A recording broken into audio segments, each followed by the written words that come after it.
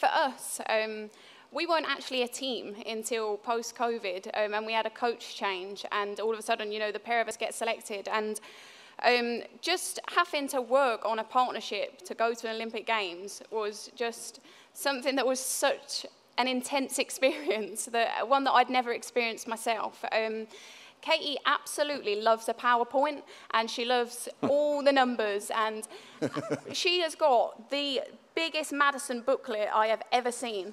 And we are so, so different. I am more, I, just see what happens. We'll just race a bike. We'll, just race and we'll just see what happens. Katie's like, no, this is what this person does on this lap and she'll score this amount of points. And so we are so yin and yang. But for us, the partnership just worked. And I would say in the Madison, Katie is probably more of the leader. And I guess you need that in that kind of team um, because you get like three words. Every time you change, you get about three words. And if you're both like, it's just really confusing. Whereas Katie's just like, do this. And I'm like, okay, yes, sir.